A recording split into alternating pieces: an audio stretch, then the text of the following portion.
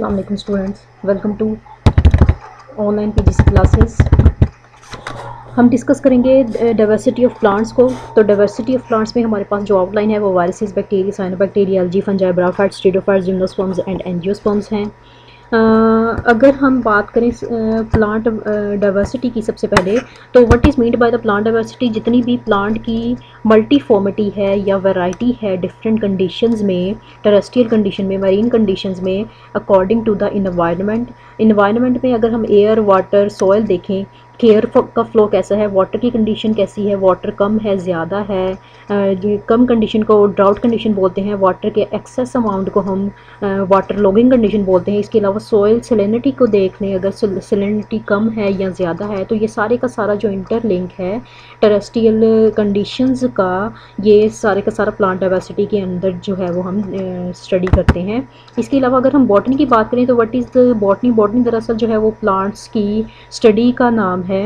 जितनी भी इसमें स्टडी आ जाती है आइडेंटिफिकेशन की करेक्टराइजेशन की क्लासिफिकेशन की, सारे का सारा बॉटनी में हम स्टडी करते हैं। बॉटनी में की जो मेन ब्रांचेज है, वो हमारे पास हैं। Morphology anatomy physiology and taxonomy morphology में जितना भी प्लांट का एक्सटर्नल पेरेंस है, वो हम देखते हैं स्टडी करते हैं एनाटमी में। जितना भी इंटरनल स्ट्रक्चर है epidermis cortex endodermis vascular bundle सारे का सारा हम स्टडी करते हैं।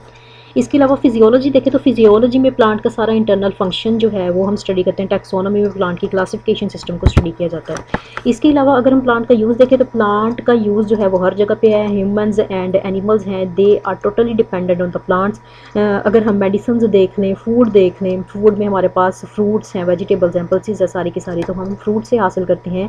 इसके अलावा जो है, वो सॉइल को इम्प्रूव करने में सॉइल की फर्टिलिटी को इंक्रीज़ करने में प्लांट का बड़ा मल दखल है। इसके अलावा क्लाइमेट को मॉडरेट करने में बैलेंस करने में भी प्लांट्स जो हैं वो अपना किरदार अदा करते हैं।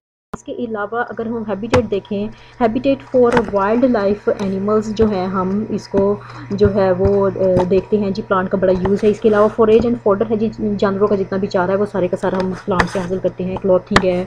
इसके अलावा प्योर हर्ब्स जो हैं, हम हर्बल ऑयल है, सारे का सारा हम प्लांट से हासिल करते हैं।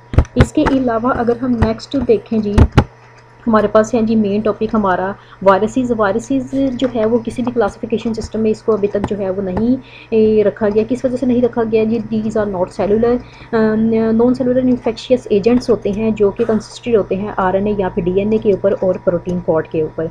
इसके अलावा अगर इसकी हिस्ट्री देखें तो हिस्ट्री हमारे पास जो है वो लुइस पास्चर है सबसे पहले और ए मेयर थे जिन्होंने के प्लांट टोबैको मुजेक वायरस के ऊपर जो है वो प्लांट की डिज़ीज़ के ऊपर जो है वो स्टडी किया। प्लांट डिज़ीज़ है वो टोबैको मोजेक वायरस के ऊपर इन्होंने स्टडी किया था। इसके अलावा इवॉन्स का है तो इवॉन्स का ने जो है वो वायरस की करेक्टरिस्टिक्स बताई कि these are the filterable agents जो कि फ़िल्टर पेपर के ऊपर से इजीली पास आउट हो जाते हैं, जबकि बैक्टीरिया जो है कभी भी फ़िल्टर पेपर के ऊपर से पास आउट नहीं होते, क्योंकि उनका साइज़ बहुत बड़ा होता है, जबकि वायरसेस का साइज़ बहुत छोटा होता है माइन्यूट एजेंट्स होते हैं। इसके अलावा अगर हम बैजनिक को देखें तो बैजनिक जो साइंटिस्ट थे, इन्होंने बैक्टीरिया की रेप्लिकेशन के ऊपर जो है वो बहुत काम किया। इसके अलावा टवॉट एंड हैरले है तो इसने बैक्टीरियोफेजिस को स्टडी किया डिस्कवर किया। बैक्टीरियोफेजिस वो वायरसेस होते हैं जो कि बैक्टीरिया को ईट करते हैं, बैक्टीरिया को इन्फेक्ट करते हैं। इसके अलावा स्टेनले है तो स्टेनले ने जी प्लांट वायरस के ऊपर काम किया, जो कि और कंप्लीट स्ट्रक्चर दिया, जो कि टीएमवी था टोबैको मोजेक वायरस जो है इसने डिस्कवर किया इसके बाद जी इसकी अगर हम करेक्टरिस्टिक्स या कुछ करेक्टरिस्टिक्स हैं जिसमें कि इसकी कंपोजिशन है, ये डीएनए और आरएनए से मिलके बते, बने होते हैं, किसी भी लिविंग होस्ट के जो बाहर के कभी भी खुद को रेप्लिकेट नहीं कर सकते। They can replicate only into the host cell इसके अलावा जी हैं। ये ये इनका जो है प्रोटीन कोट होता है जो कि कैप्सिड कहलाता है। इसके अलावा वायरसेस को देखें तो इसकी डिफरेंट टाइप्स हैं जो कि एनिमल वायरसेस हैं प्लांट वायरसेस हैं रेट्रो वायरसेस हैं जेमिना वायरसेस हैं। Retroviruses and geminiviruses जो हैं वो डिफरेंट और स्पेशल टाइप है वायरसेस की, जिसमें कि इनके पास एक स्पेशल इंजाइम्स होता है ट्रांसक्रिप्टोमर्स जो कि डबल सेटेड डीएनए को सिंगल सेटेड आरएनए में चेंज करता है। इसके अलावा एनिमल वायरसेस हैं तो इनके पास डीएनए होता है as a viral genome plant virus के पास आरएनए होता है। एज ए वायरल जीनोम अगर हम इनकी मॉर्फोलॉजी देखें तो मॉर्फोलॉजी में हम साइज़ और शेप को डिस्कस करते हैं। शेप साइज़ इनका जो है वो approximately twenty to three fifty nanometer होता है और ज़्यादातर ये वन फिफ्टी नैनोमीटर से छोटे होते हैं, इस वजह से लाइट माइक्रोस्कोप में ये नज़र नहीं आते। शेप जो है इनकी डिफरेंट टाइप की, यहाँ पे आपको शेप नज़र आ रही है। First one is a rounded shape इसके बाद इसके जो है वो रोड शेप वायरस है, जिसमें हमारे पास कॉमन एग्ज़ाम्पल है जी टोबैको मोजेक वायरस की। हमारे पास टेडपोल शेप है तो हमारे पास ये हैं bacteriophages the viruses which can infect the bacteria. इसके बाद हमारे पास वायरोन्स हैं जी। वायरोन्स क्या होते हैं? एक कंप्लीट वायरस के पार्टिकल को जो कि वायरल जीनोम डीएनए या आरएनए से मिलकर बना होता है। यहाँ पे प्रोटीन कोड के ऊपर कंसिस्टेड होता है। तो इस कंप्लीट पार्टिकल को हम वायरोन्स बोलते हैं। इसके अलावा अगर हम कैप्सिड देखें तो कैप्सिन दरअसल एक प्रोटीन कोट है जो जो कि जिससे मिलके जो है वो वायरस बना होता है। तो ये जो प्रोटीन कोड है, ये या तो इनकी बेसिक प्रोटीन्स होती हैं, या तो हिस्टोन से मिलकर बने होते हैं पॉलीपेप्टाइड्स होते हैं, या इनमें डिफरेंट टाइप्स की जो है वो प्रोटीन्स जो है वो इंटरलिंक होती है। इसके अलावा अगर हम कैप्सूमर्स की बात करें तो कैप्सूमर्स जो होते हैं वो कैप्सिड या फिर प्रोटीन का एक जो मॉलिक्यूल होता है, वो हमारे पास जो है वो एज ए कैप्स्यूमर काम करता है। तो जितने भी उसमें मॉलिक्यूल्स यूज़ होते हैं, जैसे कि हमारे पास टी एम है, उसमें approximately two one three zero capsomeres जो होते हैं, वो एक सिंगल स्ट्रैंडेड आर के साथ अटैच होते हैं। अगर हम इनका वायरल जीनोम देखें तो वायरल जीनोम वही हमारे पास यहाँ तो डीएनए हो सकता है या आर हो सकता है, लेकिन दोनों एट ए टाइम एक वायरस के जीनोम में प्रेजेंट नहीं हो सकते। लाइफ साइकिल की बात करें तो लाइफ साइकिल में इनके, हमारे पास जो है वो लाइटिक साइकिल है और लाइसोजेनिक साइकिल है, जैसे कि नाम से ज़ाहिर हो रहा है। लाइटिक का मतलब लाइसिस इसमें बैक्टीरियल सेल की जो है वो कम्प्लीटली बस्टिंग हो जाती है लाइसिस हो जाती है after the completion of the virus genome viruses product इसके अलावा लाइसोजेनिक साइकिल है तो इसमें क्या होता है जी, इनमें वायरस का डीएनए जो होता है, वो बैक्टीरिया के डीएनए के साथ जाके इनकॉर्पोरेट करता है, और जैसे जैसे बैक्टीरिया का जो डीएनए है, वो खुद को मल्टीप्लाई करता है रेप्लिकेट करता है तो आहिस्ता आहिस्ता से वायरल का जो डीएनए है, वो भी खुद की, खुद को जो है वो मल्टीप्लाई करता जाता है।